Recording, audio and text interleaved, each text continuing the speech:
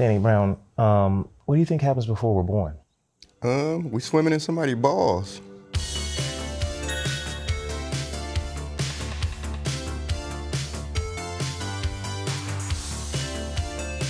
We're just going straight in.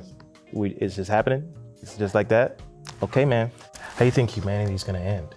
In war, we just all gonna kill each other. It's gonna be the robots too, some AI technology. Yeah. Yeah, and then there's gonna be some people that side with the robots and the AI and be like, no, that's helping people. And there's gonna be other people that's like, no, it's what's ending humanity. Oh, you think people are gonna be teamed up with the robots? Yeah, it's gonna be some people that believe it's helping us. They're gonna Yeah. be slaves to the robots Okay. and AI and all that stuff. Then there's gonna be some people that was like, I remember how it was in the good old days before the robots. And when you didn't have to use self-checkout, it was so Uh-huh. much better then. You didn't have to go to McDonald's and press buttons to order your Big Mac. Right, like when the dude's standing right there. Yeah. Like why they have him standing there? Mm-hmm. Just let him chill at home. I'm on the robot team if you wanted to know.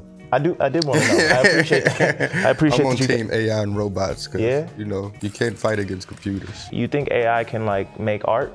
I mean they're gonna figure it out. They're getting better as time go. Yeah. But I wouldn't say they they got they can beat humans now. But they're doing their own thing. You can get an AI girlfriend that might be better than a real girlfriend though. Have you Have you thought about getting an AI girlfriend? Would you like? Would you try? I it? mean she she listens. that's kind of what, all she does, huh? She Well, they- cater to your needs. Well, they got the robots with like the the realistic butts now. yeah, but it ain't gonna one- beat the real butts though. No, it's not. So- But it's But that's why they be so stiff. Ain't no they Yeah. don't got no jiggle routes. I'm it's all about progression and anything that can help society move forward. Air fryers were game changers to me. I put everything in the air fryer. I put bagels in that motherfucker. yeah. Yeah. You believe in ghosts? Yeah, in some sense. Yeah. I don't believe in like ghosts like um haunted places and stuff, but I do believe in like we are spirits and souls and stuff like that. Like you do live on, just not in the physical form. So you never I seen do. a ghost? I mean, I've had like sleep paralysis, and they call that like the witch riding your back. You ever had that? I never had sleep paralysis. Yeah, they say that's like a ghost or something, like messing with you. Mm, one time I thought I was a ghost. Yeah. Yeah, I drank too much lean. Yeah, But I was like, kind of fun. but if I was a ghost, I wouldn't be able to touch myself. So that's what snapped me back to reality. I feel like I heard you say that one time, and I thought you meant you shouldn't be able to jack off. What do you mean? You said You should always be able to jack off. You said touch yourself. It's a it's a play on words. Oh, okay. I'm, I was getting I confuse myself sometimes. I'm a little pedantic. You know. Mm-hmm. I don't know. I get a little weird. You believe in free will. Like being able just to do whatever you want, like whatever you want. some Aleister Crowley, do it thou wilt type stuff. Mm-hmm. I wouldn't say that. We all need rules and discipline. You know, if, if Yeah. it was just free will, then you know, I probably wouldn't even be. Somebody would probably been murdered me. You think so? Yeah, I talk too much sometimes. We need rules for people to be respectful to each other, you know, and Yeah. people to care about, have empathy for each other. So I wouldn't say just free will because, you know, you shouldn't be able to just say what you want to say at any given time. I mean, I believe in free speech, but I do also believe in respect for others. Okay, I agree with you. I'm kind of with you, man. It's a good time, man. Do you uh, you want to see what's in this globe real quick? The globe, it's the world, right? Yeah. Can we just take a look inside? Oh. Uh, I thought it was plant-based meat at first, I thought we never made meat-based plants. But that's Ice Spice, right? It's ice spice. That's the chia pet. That's the chia pet. That's a, that was great marketing right there. I will. Yeah, man. It kind of made me feel weird. I don't know how I feel about visually. She looked like a civil rights activist. like how they would make they would put stuff in like black and white, so you think it was a long time ago. Mm-hmm. That's what this feels like. I, I think she's a little cuter than that. Yeah, right. I don't think the chia pet did her justice. I think she also has pupils. That's pretty cool though. I love chia pets. I mean, Yeah, that was a great thing for them to come back with Ice Spice. man. You want this? Yeah, if you're gonna let me have it, Yeah, I'm definitely take that. this. Take that. That's for you. I mean, I want the seeds and stuff though. Yeah. Thank you, man. Yeah, of course. Yeah, she looked like she sat in the back of the bus. All right, we're gonna do a lightning round real quick. Um, aliens, real or fake? I think aliens are real because I think we're living in a simulation. So anytime where they feel like dropping in on us, they can do it to spice things up. You know, Government, good or bad? the government is great. We need, like I say, we need discipline. We need somebody to be able to hold us down. We can't be running around here just doing whatever we want. Mm-hmm. Not saying, but it's all about is the government good people or good people controlling us? You know, and that's all it's about. And I believe it's some good people and it's some bad people. All right, light, is it a particle or a wave? Light? Is it a particle? I'm not really that smart at science and stuff, but I'm gonna go with a particle. Okay. It's actually based on perception, apparently. I just Googled that before we did this. uh, landlords, good or bad? Yeah, landlord's is not a bad thing. It's just if you're a slumlord, that's a bad thing. If you're not really doing it you know, with the intentions on, you know, just being, you know, if you're not taking care of the property, you're not taking care of the people that's living there, you're treating them just like a cash cow instead of like, it, it could be bad landlords. Same thing, like I said, with the government. It could be bad landlords, it could be good landlords. It's just about the person. Maoist rapper Danny Brown says landlords are bad. Uh, Oprah, good or bad? Oprah's great. She she gave everybody cars that one time. You get a car, you get a car, you get a car. I ain't seen nobody else do that, so she good. I wasn't there. I didn't get a car. And then man. she, you know, color purple. She did do color purple. You know? Can't be mad about that. She had the book club. Do you think humans are inherently good or evil? I think we start off good. It's just whatever you go through in your life that keeps you good or make you evil, you know? Mm-hmm. A lot of people got underlying trauma. You think Chris Rock was good and then he got slapped and now he's evil? I think all comedians are bad people. I agree with you. you know, honestly, yeah, I've been trying not to reveal that I do comedy on this show. In fact, cut that out.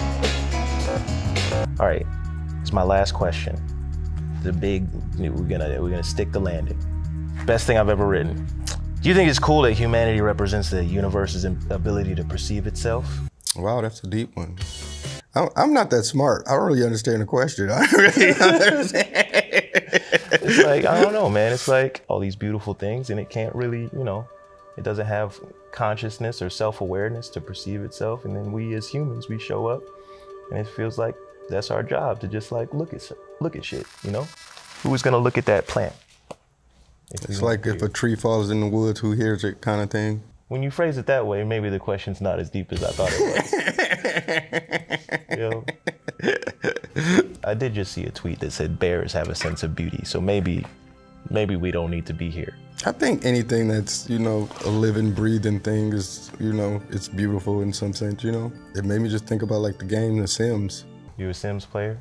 I was. Yeah. I'm not too crazy with it now. They got all type of, you know, you can get all type of mods and stuff and make them naked and bang and stuff. And I was just like weirded out by that. You the first person in the world that didn't want them to be naked? Yeah, that's just going too far, you know? What's your favorite modded video game? It's it's gonna be so normy of an uh, answer, but I really love modding NBA 2K. But yeah. if I'm like creating a player on NBA 2K, then it's like a a sexier version of myself, you know. Yeah. Do you like max out your height, or would you go like short? No, I keep my height. Stats? I keep my height. I'm above six feet, so okay. I, I can stay at my height. Okay, yeah, I respect that. I do make them more muscular though. I do respect that. Honestly, be ripped up, you know. Uh-huh. uh-huh.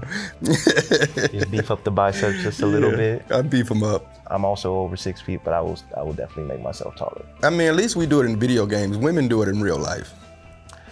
We could do it in real they, life. They make eyebrows and eyelashes and, and, and long wigs. You and, got that shin bone you know, surgery though. You could get you get. And when you strip them all that, you're like, you're not really. You're a creative player. I don't know, man. I, am gonna get that shin bone surgery. I'm a I'm gonna lengthen my shin bones. I'm gonna be seven feet tall. I think something will eventually go bad with that though. Yeah. You know? Yeah. I think it's gonna throw your stroke game off. My stroke game has had it too good for too long, man. I think it, it's time for it to go, man. I've been it's it's been too good. Anyway, you want to do some would you rather questions real quick? Sure. Would you rather know when you're gonna die or how you're gonna die?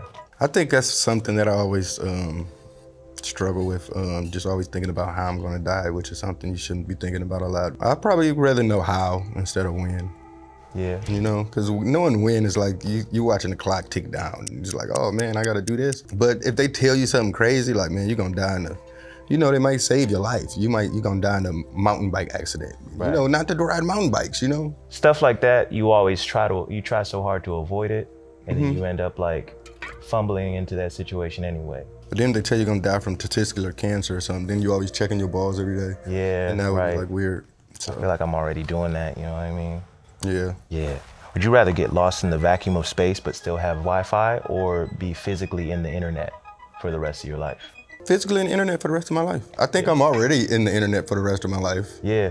I'm, I'm down with that. That's like cyberpunk. Mm-hmm. It's a little bit like that. Yeah. Chappelle Show sketch. And you get plugged in and just being there. Yeah, I'd rather be that. I'd rather live like that. Yeah. That's the future anyway. That's kind of a clear cut one.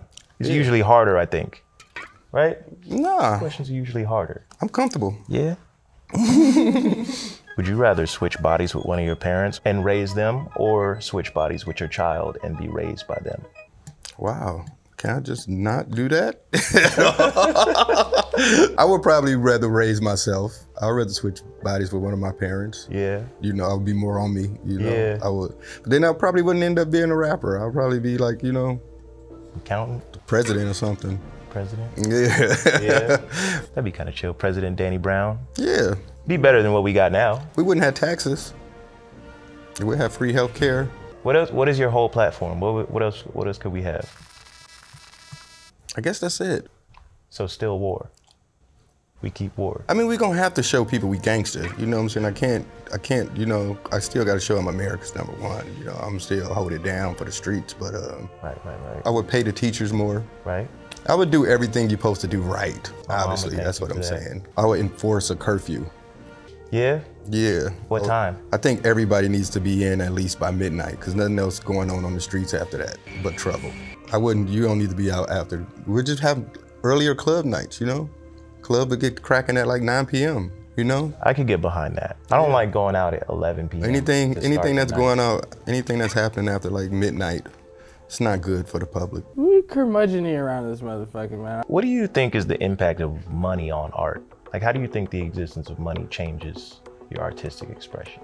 If you're doing it for money, then you're just doing what people will buy, you know? So, which is nothing wrong with, you know, everybody needs to make money, but some people that think it's like, you know, just like the dream to be able to do things you love and to be able to support yourself off it instead of, you know, just being talented and wasting your talent on what other people like. You got to be able to try to find a middle ground with it. Yeah. I wouldn't be able to sleep right at night if I was doing something that I felt wasn't good and everybody was praising me for it, you know? Mm-hmm. You think uh, your relationship with rap would change if you had everything you need in life taken care of and you could just rap? That's the goal. I think of any anybody that's doing anything artistic, but like you say, is one thing about music is just you know it's open for interpretation. Kind of, it's like it's subjective. Yeah. You know, nothing really sucks if you think about it, because it's somebody that likes it. Man, some people like stuff that sucks though. It's, it's subjective, man. Yeah. No, you're right. So you can't really say anything sucks. That's just your opinion. But it's somebody that love it. You know. That's true. Okay, on that note, I'm gonna ask you about something that I think sucks. How do you feel about the uh, the asking rappers how much their clothes cost industrial complex?